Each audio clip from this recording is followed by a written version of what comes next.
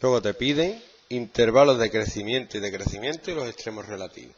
Hacer el crecimiento y el decrecimiento, pelín de teoría. Si la derivada de una función en un punto es menor que cero, en ese punto es decreciente.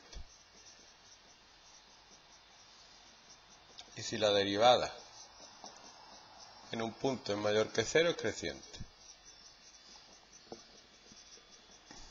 Y si la derivada en un punto es cero, tiene un máximo o un mínimo. O un punto de inflexión, pero eso ya, ya lo veremos cuando salga. Vamos a ver, crecimiento y decrecimiento, porque hace la derivada. La derivo tranquilamente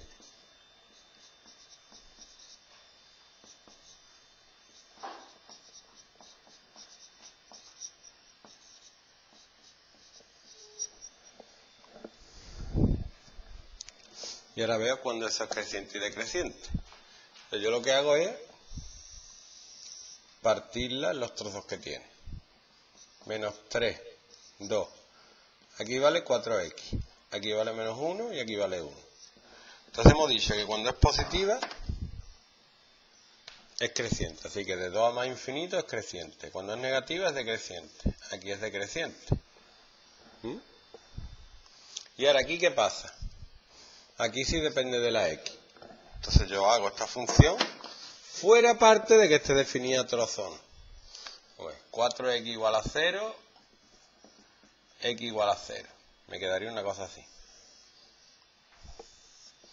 0. Y ahora cojo un número de aquí, menos 1 y más 1.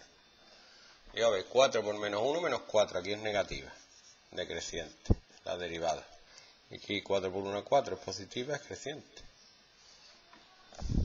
Entonces, como este trozo pilla aquí donde es decreciente, puedo decir que en este trozo es decreciente. Pues siempre me van a dar números negativos.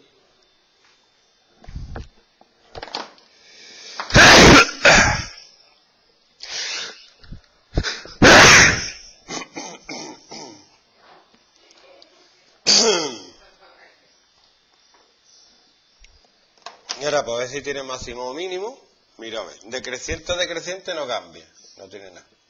Y ahora cuando pasa de creciente a creciente es que tiene un mínimo. Y se acabó. Se acabó.